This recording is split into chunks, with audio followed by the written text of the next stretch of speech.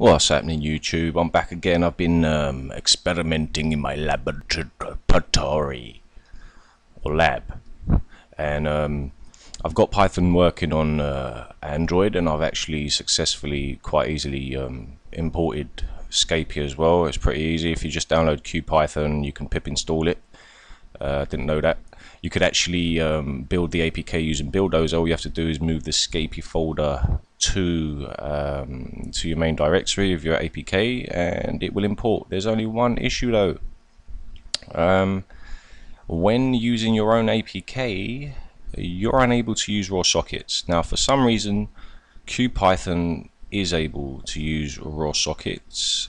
As you can see, I have Scapy running um, perfectly fine on my Android and this is a Nexus 7 now you're gonna run into issues if you I think if you're running anything after 4.4.4 this is a custom ROM as well. I'm running NetHunter on this. Um, I've tried running it on my Galaxy S4 but it doesn't work because of something called Pi.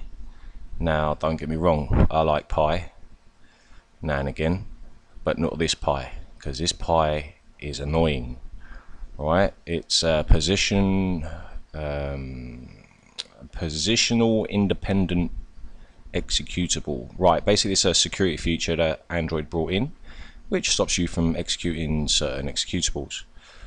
Okay but as you can see from the recording um, I did get it working. So basically Scapy is working. Now I've got to find a little workaround so I can use a sub process module um, to actually use the QPython terminal to call my code alright and then basically you know the sky's the limit. You can do whatever you guys want.